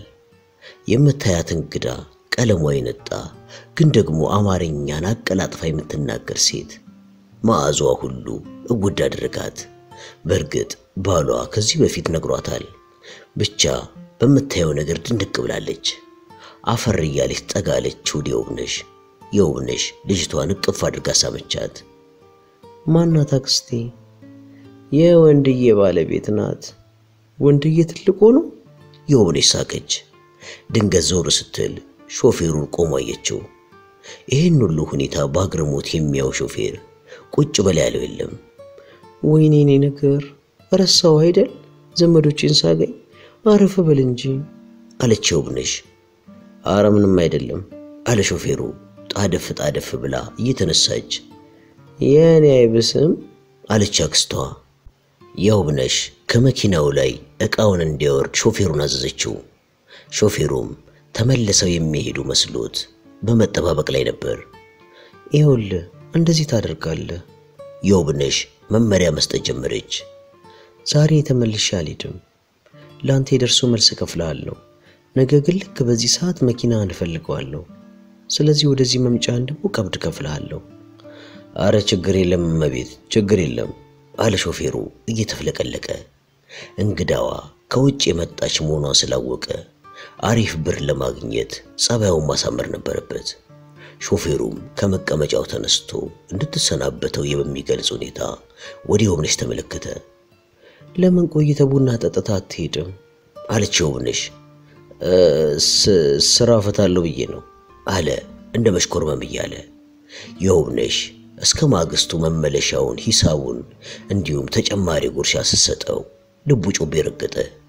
አክስቷ ሐረግ ለእንግዳዋ ምግብ ለማቅረብ ጉድ ጉድ ማለት ጀመረች። ሁለቱም ሴቶች አብረዋት ነበሩ። የውብነሽ ብድግ ብላ ወደ ጓዳ እንደ መግባት እያለች ነይ እንጂ አክስቴ፣ አሁን በዚህ ሰዓት ምን እያደረግሽ ነው? ምሳ እንደሆነ በልተን የመጣ ነው። ነይ ይልቅ አረፍ በይና እንጫወት እያለች ጋባዥ ሆነች። አክስቷ ጉስቁል ከማለቷ ሌላ ከስታለች። እህቷ ግን የወጣትነት መልክ መሰል በዛ መልሎ ቁመቷ ላይ አፍ ላይ የወጣትነት መልክ ታክሎበት የተጎዳች አትመስልም። ሁሉም ወደ ቡናው ተሰበሰቡ። በይ ምትክዬ፣ እስቲ ቡናውን አጠጪን አለች አክስትየው። እሱን ሻንጣ አቀቤኝ እስቲ አለች የውብነሽ በአንድ ሻንጣ መሰል ነገር የያዘችው ፍራፍሬ ትዝ ብሏት። ብርቱካንና ሙዝ በሻንጣው ውስጥ ታጭቋል። የውብነሽ አውጥታ በሳህን አድርጋ እንድታመጣ እህቷን አዘዘቻት። አትክልቱ እየተበላ ጨዋታው ደራ። ወንድዬ ትምህርቱን ጨረሰ እንዴ? የውብነሽ ጠየቀች። አረ እሱቴ የወንድዬ ሚስት የሺ እንደ ማፈር አለች። ተስምንተኛ ክፍል ያቋረጠው። ለምን? አረ ተይኝ ብዬ ግብርናው ይሻለኛል ብሎ አሻፈረኝ አለ። ወገንዬ ግን ዘንድሮ አስራ ሁለተኛ ክፍል ሆኗል። ይሄኔ የውብነሽ እህቷን አስታወሰችና አንጀቷ እርር አለባት። አክስቷም የእህቷን ትምህርት ማቋረጥ የምታነሳባት ስለመሰላት ቶሎ ብላ ወሬ ለመቀየር ያህል ያው ብዬ አለች። አቤት አክስቴ አለች ፊት ለፊቷን እያየች። መቼ ነው የምታገቢው? ይህን እንኳን አስቤ አላውቅም። ተይ እንጂ ቼን የቆንጆ ምን ማለትሽ ነው? አሁን ትምህርትሽን ጨርሰሻል። የሚቀርሽ ብቻ ነው። እኛም ደስ ይበለን እንጂ። አይ አክስቴ፣ እሱ ቀስ ብሎ የሚሆን ጉዳይ ነው። ከዛ በፊት ብዙ መስራት የሚገቡኝ ነገሮች አሉ። አይ የዛሬ ልጆች ትዳር ነው ደጉ አለች አክስቷ። እንዲህ የተጨዋወቱ የሞቀውን ጎጇቸውን ጨዋታ ከደጅ የሰማው ወንድዬ እንዴት ዋላችሁ እያለ ወደ ቤት ሲገባ ያጋጠመው ፍጹም ያልጠበቀው ነበር። ወንድዬ የገጠር ገበሬ ይመስሏል። የለበሰው አዳፋ ልብስ ሲሆን አንድ ሽመል መሳይ ነገር በእጁ ይዟል። መልኩም ወደ አባቱ ያዘነበለ ሲሆን ቁመቱም አጭርና ፈርጣማ ነው። ወይ አንቺ ነሽ እንደ የውብ ድንገት ከተፍቴ እንዴት ነሽ ውብዬ? በስንት ዓመታችን ተገናኘን። ይገርማል ይገርማል። ሰላምታ ተለዋወጡ። ወንድዬ የውብነሽን ይህንን ያህል ተለውጣ ሲያያት ውስጡን የሆነ ነገር ተሰማው። ያለመማሩ ቆጨው። እየተጨዋወቱ እያለ አቶ በለው ጋቢውን እያጣፋ ደህና ዋላችሁ እያለ ሲገባ የውብነሽን ሲያይ ድንግጥ ብሎ ቆመ። የውብነሽ ከተቀመጠችበት ተነስታ ሰላምታ ተለዋወጡ። የውብነሽ አቶ በለው ሲስማት የመጠጥ ሽታ አፏን እፍና አደረጋት። ምን ነው ምን አለ መምጣትሽን ቀደም ብለሽ ብትነግሪን ቴ በስንት ጊዜ ልጄ እንደዚህ በድንገት መምጣትሽ ደግ አልሰራሽም ጋሽ በለው ሁሉ ነገር ስመጣ ይደርሳል ብዬ ነው አለች ውብነሽ። ቢሆንም ቢሆንም እንዲህ አልነበረም አለ ከዘራውን ወደ መሬት መታ መታ እያደረገ። ሦስቱ ሴቶች ከጓዳ እራት ለማቅረብ ጉድ ጉድ ይላሉ። ሐረግ አለ አቶ በለው። እንዳው ለእንግዳዋ ምን አደረግሽላት? አትጨነቁ፣ እኔ እኮ እንግዳ አይደለሁም ጋሽ በለው አለች ውብነሽ። እንግዳ ነሽ እንጂ ያውም የከበደ እንግዳ። ሲጫወቱ ውለው አመሹ። እራት ከተበላ በኋላ ወንድዬና ባለቤቱ ወደ ጎጇቸው ሄዱ። አክስቷና ባሏ ሲተያዩ የመኝታው ነገር እንዳስጨነቃቸው የተረዳችው የውብነሽ አክስቴ የሚነጠፉ ነገሮች በሻንጣ ውስጥ ይዣለሁ፣ አታስቡ አለች ውብነሽ። ሻንጣዋን እየከፈተች የተለያዩ የሚነጠፉ ነገሮችን አወጣች። አክስቷም አንድ የክት ብርድ ልብስ ለውብነሽ አውጥታ እዛው መደቡ ላይ ተነጠፈላት። በነጋታው አቶ በለው ለሥራ የወጣው በጠዋት ነበር። የውብነሽ ረፈድ አድርጋ ከእንቅልፏ ነቃች። ተነሳሽ ውብዬ አለች አክስቷ። የክት ልብሷን ለብሳለች። በይ የውብ ከተማ ዕቃ ገዝቼ እመጣለሁ። እስከዛው ድረስ ምትክዬ ቡና እያፈላች ታጫውትሽ። አዎ አሁን ነው የምመለሰው። አብሬሽ ቡና እንዳልጠጣ ጾም ሆነብኝ። ግድ የለም አክስቴ አትጨነቂ። ግን ምናልባት ሳትመለሽ ከሄድኩኝ ቅር እንዳይልሽ ዛሬ ስለምመለስ መኪናውን እንዲመጣ ነግሬዋለሁ። ምን ነው ቸኮልሽ ውብዬ? ተጣደፍሽ እኮ። አይ አክስቴ ቶሎ የሚመለስበት ብዙ ጉዳይ ስላለኝ ነው። ግድ የለም እኔ እስከዛ ድረስ አልቆይም፣ ቶሎ እመጣለሁ እያለች ዕቃ መያዣ ቢጤ በእጇ ይዛ ተሰናብታት ወጣች አክስቷ። ከተማ ደርሳ እስከምትመለስ ግን ሁሌም ቢሆን ከቀትር ፀሐይ በኋላ ይሆንባታል። ዛሬ የማትቀርበት ጉዳይ ሆኖባት እንጂ እንግዳ ጥላ መሄዱን አልወደደችውም። ምትኬ ለእህቷ ስር የተባለችውን ለማዘጋጀት ጉድ ጉድ ማለት ጀመረች። በዛ ሰሞን ዶሮቹ ከጣሉት ለሽያጭ ከተቀመጠ እንቁላል ላይ አንስታ የእንቁላል ፍርፍር አዘጋጀች። የቡናውን ሲኒ አጣጥባ አቀረበች። ምትኬ ስትናፍቃት የኖረችው እህቷን እንደዚህ በነፃነት ስታገኛት አጠገቧ ቁጭ ብላ የልቧን ልታጫውታ ቸኩላለች። ደግሞም ትልቁ የፈተና ሰዓት ላይ ነው የደረሰችላት። ካለማንም አማካሪ ብቻዋን ስታለቅስ ነው የከረመችው። ምትኬ በለው ተብላ መጠራቷ አሳዳጊዋ በመሆኑ አቶ በለው ያሻኝን አደርጋለሁ ብሎ ቆርጦ ተነስቷል። ለአንድ የጓደኛው ልጅ ሊድራት ከወሰነ ወራት ተቆጥሯል። ባለቤቱም ሐረጓን ብትሆን በሚያገባት ልጅ ማንነት ብዙም ባትደሰትም እስከ ዛሬ ያገለገለችኝ ይበቃል፣ የእህቴም አጽም ይወቅሰኛል ብላ በማሰብ ጋብቻውን ተስማምታለች። ስለዚህም ጋብቻው የፋሲካ ሰሞን በመሆኑ ዝግጅቱም አንዳንድ እያለ በተጀመረበት ሰዓት ነበር የውብነሽ የደረሰችው። ቀን ከሌሊት እምባ የጨረሰው አይኗ ሞጭ ሙጮ ፋታ የማይሰጠው የቤቱ ሥራ ጉልበቷን የጨረሰው ምትኬ ግን ጉዳዩን በጭምጭምታ ከሰማች ወዲህ ወይ ራሷን ልታጠፋ ወይ ደግሞ ከሀገር ልትጠፋ የወሰነችበት ጊዜ ነበር። የውብነሽ የሌሊት ልብሷን ቀይራ ለእጇ ባቀረበችላት ሙቅ ውሃ እየታጠበች እሺ እንዴት ነሽ ታዲያ አለች እህቷን ለጨዋታ ያህል። ደህና ነኝ ታባ። አንድ እንጀራ መሃሉ ላይ የእንቁላል ፍርፍር አድርጋ ቀረበች። እኔ ቁጭ በይ እስቲ፣ እኔ ቁጭ በይ አንቺም አለች ውብነሽ። እታባ እኔ እኮ ጾም አለው። ግድ የለም እኔ አጠገቤ እኮ ቡናውን ልቀዳልሽ አይደል? እሺ ምትክ በይ እስቲ አጫውቺኝ። ምትኬ ያለ አንዳች ከልካይ የልቧን የሚያዳምጣት ብሶቷን የሚሰማት የራሷ የሆነ ሰው በማግኘቷ ከልጅነት ጀምሮ ለማንም ያልተነፈሰችውን እንግልቷን፣ ስቃይዋን ከመጀመሪያው እስካሁን እስከ ጋብቻው ጊዜ እስከሚደርስ ድረስ ያለውን ምንም ሳታስቀር ዘገዘገችው። አቋረጠቻት እህቷ። አንቺ ጋብቻውን ፈልገሽዋል? አረ በፍጹም እታባ፣ የሰማሁትም እንኳን በቅርቡ ነው። የአክስቴ ጎረቤት ሲያወሩ እኔ በበኩሌ ቆርጫለሁ። ምንድን የቆረጥሽው? አይታባ ምን ላድርግ? እምባዋ አላናግር አላት። ሳታለቅሺ ንገሪኝ። አሁን አጠገብሽን ያለው ተይኝ፣ ተይኝ ታባ። መንሰቅሰቋን ያዘች። የውብነሽ ውስጧን እልህን ሐዘን አቃጠለው። አደራ የተቀበለችው አክስቷ ትምህርቷን ማቋረጧና የቤቷ አገልጋይ ማድረጓ ሳያንስ አሁን ደግሞ አፍና ላልፈለገችው ሰው ልትድራት ነበር።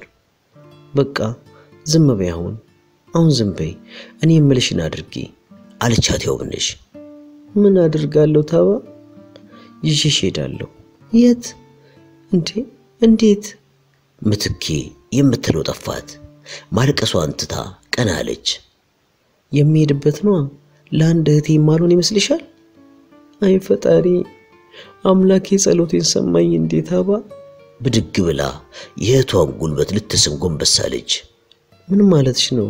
ቴ እኔ እኮ እህትሽ ነኝ አለች ቀና እያደረገቻት። ይልቅስ ተነሽ፣ ሰውየው የሚመጣበት ጊዜ ሳይደርስ ተዘጋጂ። እንዴ አክስቴ ሳትመጣ ይህ የኔ ፕሮግራም ነው። እታባ አክስቴ ትቀየምሽ ይሆን እንዴ? ግድ የለም እሱን ጊዜ ይፈተዋል። ምትኬ ደስታ ይሉት ብቻ የምትሆነው ጠፋት። የቀዳችው ቡና ቀዝቅዟል። መጀመሪያ ይህንን ሻሽ አውልቀሽ ፀጉርሽን ታጠቢ ሰውነትሽንም አለችና የውብነሽ ጠጋ ብላ ምትኬ ያሰረችውን ሻሽ ፈታችው። ለሁለት ተከፍሎ ሹሩባ የተሰራው ጥቁር ሉጫ ፀጉር በጀርባዋ ላይ ዝንፍልፍል አለ። ድንገት የእናቷ ምስል ፊቷ ላይ ድቅና ለባት የውብነሽ። እንደዚህ የሚያምረውን ፀጉርሽን ነው በሻሽ ያፈንሽው? በይ ትጥብ ብለሽ ነይ እታባ። ፀጉሬን ብቻ ነው የምታጠበው አካላቴንም ጭምር? ሁለቱንም ታጠቢ። ምትኬ እንደ ትንሽ ልጅ ፍንድቅድቅ እያለች በገበቴ ውሃ ሞልታ ጓዳ ውስጥ ታጠበች። የምትለብሰው የታጠበ ልብስ ስለሌላት ያንኑ አዳፋ ልብስ ለብሳ መጣች። እኔ ወደዚህ አለቻት የውብነሽ።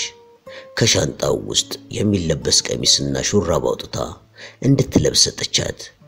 የውብነሽ ከቦርሳው ውስጥ የፀጉር ቅባት ስታወጣ እንዴት አባ ቅባትን በቦርሳሽ ውስጥ አለ እንዴ? አለቻት። በይ ምትክ፣ ሰውየው ሳይመጣ ቶሎ ቶሎ በይ። ቤቱን ስለማን ጥለን ነው የምንሄደው? አለች ምትኬ። የወንድዬ ሚስት አለች አይደል እንዴ? አዎ እሷስ አለች። የውብነሽ ማስታወሻ ቤቴ መጻፍ ጀመረች። ፊደል የቆጠረ ወንድዬ መኖሩን ስለምታውቅ ለንባቡ አይቸገሩም ብላ ነው። እንዴ ምትክዬ፣ እንዴት አምሮብሻል ባክሽ አለች የወንድዬ ሚስት ከውጭ እየገባች። ግቢ አለቻት የውብነሽ። ማን ነበር ያልሽኝ ስምሽን? የሺ አለች የወንድዬ ሚስት እንደ ማፈር እያለች። የሺ ይኸውልሽ አለቻት የውብነሽ። ይህን ፖስታ የምትሰጪው ለጋሽ በለው ነው። ይህን ደግሞ ለወንድዬ ማስታወሻውን ወንድዬ አንብብላቸው። አክስቴ ስትመጣ አንቺ ንገሪያት ምትኬን ይዣት ልሄድ ነው። የሺ የሆነ ነገር ሆዷን ቁርጥ አደረጋት። ደነገጠች። ወዴት ወዴት ልትሄድ ነው? አለች ግራ ገብቷት። ከኔ ጋር አብራኝ ልትሄድ ነው አለቻት የውብነሽ። የወንድዬ ሚስት የምትኬ ጋብቻ መቋረጡ ታሰባት። ጓደኛዋ ምትኬ እዛው አግብታ እንድትኖር ነበር ምኞቷ። የውብነሽ የወንድዬ ሚስት ቅር እንዳላታየች ሻንጣዋን ከፈት አድርጋ ቀሚሶች፣ ሹራቦችና የአንገት ሻርፖች አውጥታ ይሄ ደግሞ ላንቺ ነው አለቻት። የሺ ጎንበስ ብላ የተሰጣትን ተቀበለች። ትንሽ እንደቆዩ የመኪና ድምፅ ተሰማ። የትላንቱ ሾፌር እየሮጡ ከሚከተሉ ትንንሽ ልጆች ጋር ከተፍ አለ። የውብነሽ ወደ ደጅ እየተመለከተች በሉ ሻንጣዎቹን ወደ ደጅ አውጡ አለች። ሁለቱ ሴቶች ሻንጣዎቹን ከመኪና ውስጥ አስገቡ። ምትኬ ደስታ ይሆን ብቻ ከዚህ በፊት የማታውቀው ስሜት ሆዷን አንቦጫቦጨው። የለበሰችውን አጭር ቀሚስ ወደ ታች ጎተት ጎተት እያደረገች ጓደኛዋን በቅሬታ ተመለከተቻት። እምባ ባይኗ ቁርዘዝ ብሏል። ምትክዬ መሄድሽ ነው አለች የሺ። አይዞሽ የሺዬ እመጣለሁ። ይብላኝ ለኔ እንጂ አንቺስ ተገላገልሽ። እሷንም ቢሆን ትምህርቷን አቋርጦ ነበር ለባል የሰጧት። አይዞሽ ጓደኛዬ ከታባ ጋር እየመጣው ጠይቅሻለሁ። ሾፌሩ ሞተሩን አስነሳ። ምትኬና የሺ አንገት ለአንገት ተያይዘው ተላቀሱ። የውብነሽ ሁለቱን ጓደኛሞች ትመለከታቸው ነበር። ግቡ እንጂ እንሂድ አለ ድንገት ሾፌሩ። የውብነሽ የሺን ጠራቻት። በእጇ የያዘችውን ብር ልትሰጣት ስትል ልጅቱ እንደ መግደርደር አለች። እሷ ግን ጉያው ሸጎጥ አድርገችላት። በያይዞሽ እንመጣለን እሺ። ምትኬ ተቀምጣ በማታውቀው መኪና ከሻንጣው ጎን ተቀመጠች። መኪናው ሲነሳ የውብነሽ እጇን ለልጅቷ አውለበለበችላት። ምትኬ ዞር ብላ ወደ ጎጆዋ ስታይ የበሩን መዝጊያ ስትዘጋየች ጓደኛዋን ሐረጓ ወደ ቤት የተመለሰችው ለአይን ያዘ ሲያደርግ ነበር። ጎጆ አጠገብ ስትደርስ ግን ቤቱ ያሉ ወትሮ ተዘግቶ ስታይ ድንግጣለች። ማነሽ? የሺ የሺ እያለች ወደ ልጇ ጎጆ ትጣራች። እመትትዬ የሺ ክፍት ብሏታል። ምንድን ነው ጉዱ? የምን ጉድትዬ? ልጆቹ ምን በላቸው? ሐረጓ የገዛችውን ዕቃ ሜዳ ላይ በትነዋለች። የሺ የምትመልሰው ስላጣች እንዳቀረቀረች ዝም አለች። ይቺ ምናምንቴ የትም ከርማ ከርማ ዛሬ አሳድጌ አሳድጌ ብታይ ልትወስዳት መጣች። አረትዬ እንደሱ አይበሉ። ታዲያ ምን ልበል? ጉድ ሰራችኝ እንጂ ይልቅስ ከቤት እንግባ ብላ የሺ የቤቱን መዝጊያ ከፈተችው። አሁንም ጉድ ጉድ ሰራችኝ እያለች ማጨብጨብ ያዘች። ለመሆኑ በለውስ ያስቀምጠኛል? ለጋሼማ በፖስታ ያስቀመጠችው አለ፣ ለወንድዬም ለብቻው ተሰጥቶኛል። ልጅቷ ተናዘዘች። ደሞ ምንድን ያስቀመጠችው? ይኸው የሺ ሰጠች ፖስታውን። ሐረጓ ፖስታውን ስታይ በረዳለች። ምናልባት ገንዘብ ይሆናል በማለት ነይ ክፈች ውስቲ። አረ የቸኩሉትዬ፣ አሁን ወንድዬ መምጫው ደርሷል፣ እሱ ይከፍተዋል። ይልቅስ ቡና ላፍላሎት? የሺ ቡናውን ለማፍላት ጉድ ጉድ ስትል ወንድዬ ከውጭ ይገባል። ቤቱ ያሉ ወትሮ ጭር ብሎ ሚስቱ ቡና ስታፈላ የደረሰው ወንድዬ ለወሬ የተጣደፈ ምትኬት ሄደች አለ። ወንድዬ ምትኬን እንደፈለገው ነው የሚያደርጋት። ሲቆጣት፣ ሲሰድባት፣ በአሰካለም ሲደበድባት ማን ከልካ ያለውና እንዴ ወሰደቻት እንዴ? እናቱን በጥያቄ አጣደፋት። ይልቅ ያንን ፖስታ ወዲያ አምጣው አለች እናቱ ቢናደድ ትርጉም የለውም ብላ። የምን ፖስታ? ያንተ ድርሻ ለብቻ አለ። ይህን ሲሰማ ልቡ ወከክ አለ። ምንድን ነው ነገሩ? ፖስታውን ሲሸረክተው በላስቲክ የታሰረ የብር ኖቶች ቆጠረው። ሁለት ሺህ ብር። የዘር እህል መግዣ የተቸገረ ወንድዬ በእጁ የገባው ሲሳይ ጮቤ ያስረገጠው። የበለው ደግሞ ይኸውልህ፣ እስቲ ክፈተው አለች እናቱ። እኔ እሱን አልከፍትም። ዴ የጋሼ ነገር እያወቅሽው፣ ይልቅስ ማስታወሻውን አንብብላቸው አለች ሚስቱ ለብቻ የያዘችውን ወረቀት እየሰጠችው። ቀደም ብላ እሷ አንብበዋለች ለብቻዋ። ደብዳቤም አለ እንዴ? አንቺ አታነቢላትም ነበር እንዴ ታዲያ? አይ ሰጪ ያለችኝ ለአንተ ነው። ማይ መስለሻት ይሆናላ። መልእክቱ ባጭሩ ካለነሱ ፍቃድ ስለወሰደቻት እህቷ ከበድ ያለ ይቅርታ እንዲያደርጉላት፣ ሌላው ወደፊት ልትሰራው ስላቀደችው ስራ በዝርዝር የሚያተት ሲሆን የምትሰራው ስራ ሰፊ ፕሮግራም እንዳለውና የሚሰራውም ስራ ከነሱ ጋር እነሱ ቄ መሆኑን የሚገልጽ ነበር። አረ እንዴ ሸጋ ሀሳብ ነው አለ ወንድዬ። ወዲያውኑ አንጀቱን ባራሰው ብር ሐሳቡን ወዲያውኑ ለውጦ የሆነው ሆነና እኔ ምን ሊውጠኝ ነው አለች አረጓ። እንዴ እንዴት ምን ሊውጠኝ? የባል ተብዬው ነዋ። ሄዲያም አየ ደግሞ ፊቱንም ቢሆን አባዬ ቸኩሎ ነው ለዛ ለፈዛዛ ድራት ያስበው። በፊት ለምን እንደዛ አላሰብክም ነበር? እናንተው ስትስማሙ ታዲያ እኔ ምን ዶለኝ? ቀድሞውንም ቢሆን ቀልቤም አልወደደውም። በዛ ላይ ብሎ ንግግሩን አቋረጠ።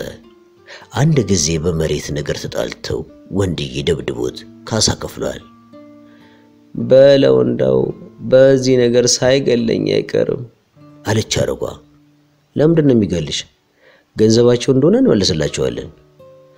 አሁንስ አበዛኸው። እንዴት እንዴት ነው ንግግር? ይሄን ሁሉ ጊዜ ሲጠብቅ ኖሮ ቃል አባይ ሆነን አይሆንም ስንል ሀገር ምን ይለናል? አይማዬ አታስቢ ባክሽ፣ እሱን ለእኔ ተይው። አሻፈረኝ ካለ ደግሞ አቀምሰዋለሁ። ተው ተው አንተ ልጅ የበፊቱን ረሳህና ነው። ይልቁኑማ የውብዬ ነገር ልቤን የነካው። አቤት ያንተ ነገር! አሁን ገንዘብ በእጅ ስለገባ ቅጡ ጠፋ። አረ ምን ይጠፋኛል እማዬ፣ እንዳው በመንደራችን ልታኮራን እኮ ነው። እስቲ ደግማ አንብብልኝ። እኔ በልጅቷ ድንጋጤ ይዞኝ የምትለው ሁሉ ምኑም አልገባኝ። ሐሳቤ እሷ ጋር ሄዶ እማዬ አንቺ እኮ የማያሳስብሽን ነው የምታስቢው። ይልቅስ ስሚኝ፣ የውብዬ ያለችውማ እንዴት ድንቅ ጉዳይ መሰለሽ። በእኛ ቀዬ የሕክምና ቤት ልትሰራ ነው። እሷው አለች አረጓ። ቆይ እንጂ እማዬ ምን አስቸኮለሽ? ቴ ሌላም አለ ደግሞ የልጆች ተማሪ ቤት ልታቋቁም ነው። አዎ ሐሳቧ ይሄ ነው። ትቃዣለህ ልበል? መንግስት ናት እንዴ እሷ ይሄን ሁሉ ነገር የምትሰራው? አይማ ገንዘብ ካለ ይቻላል እኮ። አረ ይሄስ የጉድ ነው አለች አረጓ የምትለው ጠፍቷት። በል እንግዲህ ቀስ ብለህ ለበለው አስረዳው አለች ቀጥላ። አሳምሬ እንጂ እንዴ አሳምሬ ነው የምነግረው። ሀገሬውን ሁሉ ጉድ ነው የምናደርገው አለ ወንድዬ ኩራት ተሰምቶት። አንተ ደግሞ ተው እንጂ አለች ሚስቱ እስካሁን ስታዳምጥ ቆይታ። ዴ ምንድነው ጥፋቱ? ሚስቱን ጠየቀ። ጥፋቱማ ይቺ ሴት ስትል ንግግሯን አቋረጣት። የውብዬ በያት አለ ያራቀቻት መስሎት። አሁን እታባ ስትል ቀለላት። ጓደኛዋ ምትኬ እታባ ስትል ሰምታለች። አፌ ቁርጥ ይበልልሽ እታባ እስቲ እንዴት ደስ ይላል መሰለሽ አለ ወንድዬ። ልጁ ምን አቅለበለበው አለች አረጓ። እንዴ እማዬ እንዴት አልደሰት? ይሄን ሁሉ ሲሳይ እየሰማሽ እልል እንደማለት ኩርመት ያልሽው አንቺ ገረምሽኝ እንጂ በእጄ እስቲ ቀጥይ አለ ወደ ሚስቱ ፊቱን አዙሮ የጀመረችውን ሐሳብ እንድታብራራለት። የእሱ ሐሳብ እኔ እንደሚመስለኝ የሀገሬውን ሰው ከችግር ለማዳን ይመስለኛል። ምክንያቱም ሐኪም ቤት ካለ ሰው ሁሉ እንደ ልቡ ይታከማል። ትምህርት ቤት ባጠገቡ ካለ ልጁን እንደ ልቡ ያስተምራል ብላ ይመስለኛል። ማለፊያ ተናግረሻል አላት ሲያዳምጥ ቆየና፣ በያ ማስመረቂያውን ቡናውን በይን። አረ ከነጋ እህል ባፌ አልዞረም አለች አረጓ ከመደቡ ላይ ጋደም ብላ ትንሽ እንደቆየች የሆነ ነገርም ትውስ አላትና ድንገት ቀና ብላ አሃ አሃ አሁን ገባኝ አለች አረጓ። ምንድን ነው ማዬ? ይሄን ሁሉ ገንዘብ ያገኘችው ሚስጥሩን አወቅኩት። እዛ ፈረንጅ ሀገር በሄደች ጊዜ የአባቷን ወገኖች አግኝታ ይሆናላ። አይማዬ ያልቸገረሽን ከየትም ታምጠው። አዎ ቢሻት ከሰማይ ዝነብላት፣ ቢሻት ከጨረቃ። አረ አንተ ልጅ ዴ ዛሬ ለይቶልሃል፣ ሳታብድ አልቀረህም። እማዬ አትፍረጅብኝ። ይሄን ሁሉ ነገር ስሰማ እንዴ ዝም ልበል? እውነታቸውን ነው። ዛሬ ለየት ብለሃል አለች ሚስቱ። አንቺ ደግሞ እናንተን ፈርቼ ነው እንጂ እኔ ሽለላ ፉከራ አሰኝቶኝ ነበር። እስቲ ተመልከቺ፣ ከኛው ተወልዳ አድጋ ለዚህ ቁም ነገር መብቃቱ አልፋ ተርፋ ደግሞ ለመንደርተኛው ሁሉ የሚያሳርፍ ስራ ልትሰራ ማሰቧ ቴ የሚያስደንቅ እኮ ነው እንዴ! አያስደንቅም? ይሄ ታዲያ ኧረ እኔም ቢሆን ደስ አሰኝታኛለች አለች ሚስቱ ቡናውን እየቀዳችና ሐሳቡን እያጀበችው። መንገድ የማታውቀው ምትኬ እህቷ ስር ሽጉጥ ብላ መጓዝ ጀመረች። ይሄ ለሷ የተለየ ቀን ነው። ራሷን በገዛ እጇ ልታጠፋ ባለችበት ጊዜ አምላክ ስለረዳት፣ በተለይም በናፍቆ ስትንገበገብላት የነበረች እህቷ መከታ ሆናት ከዛ ሁሉ መከራ ስለገላገለቻት ፈጣሪዋን በሆዷ እያመሰገነች ነበር። የውብነሽ ከእህቷ ጋር ለመጀመሪያ ጊዜ አብረው ሲጓዙ እያለ አልፎ አልፎ ለጨዋታ ያህል በመቀለድ አዋራቻት እንጂ በውስጧ ያጨቀችውን ሙሉ በሙሉ ያለፈ የመረረ ሕይወት ጉዞዋን በኋላም አምላክ እየረዳት በከፍተኛ ጥረት አሁን ያለችበት ደረጃ መድረሷን ለእህቷ ለመናገር ጊዜው አሁን አይደለም በማለት ዝም ብላታለች። አመሻሽ ላይ ደሴ ከተማ ገቡ። አንድ ዘመናዊ ሆቴል ይዘው ወደ መኝታ ክፍላቸው ሲገቡ ምትኬ የገጠር ልጅ በመሆኗ እንደ ማፈር እያለች እታባ እዚህ ነው እንዲህ የምንተኛው? አለች። የቤቱ ንጽህና፣ የመኝታ ቤቱ የመጸዳጃና የሻወሩን ክፍል ስታይ ግርም ብሏት፣ በማግስቱም የአዲስ አበባ መኪና ትኬት ቆርጠው ገቡ። እህትማማቾቹ እየተጨዋወቱ አመሻሽ ላይ አዲስ አበባ ገቡ። አልጋም የያዙት አንድ ኢንተርናሽናል ሆቴል ነበር።